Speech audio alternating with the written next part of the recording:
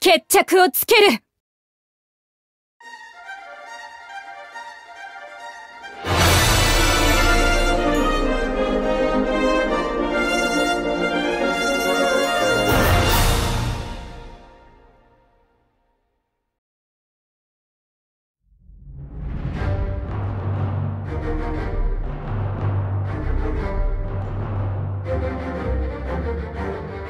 どうだ？ちょうどいいかな。急ごしらいだったがさすがゴブニュファミリアといったところか。合図どうした？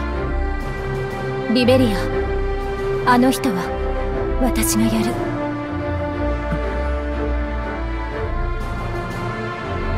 勝てるんだな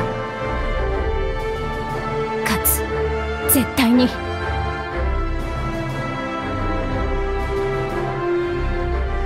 分かった。お前の大幅なアビリティの上昇はロキからも聞いている。奴の相手は任せる。リベリア。ありがとう。どのみち6体ものデミスピリットがいる以上あのクリーチャーを相手取るにはお前の力を借りるしかない。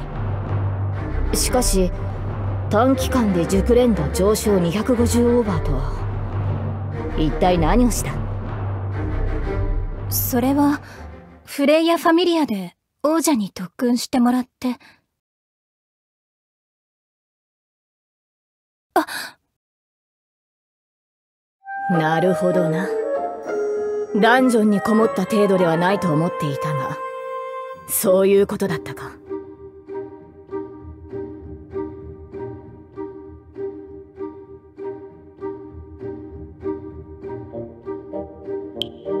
誘導された。汚いなどと言うなよ。お前が何かしらの禁止事項を破っていた程度のことは想定済みだ。心も読まれた。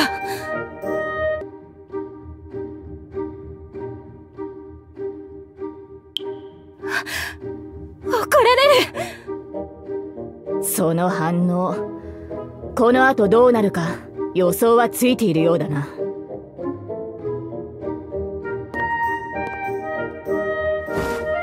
リリベリア待って。私も強くなりたくて。いつも言っているな。派閥幹部としての自覚を持てと。あまだ戦ってないのに相馬と久しぶりに強制してやろう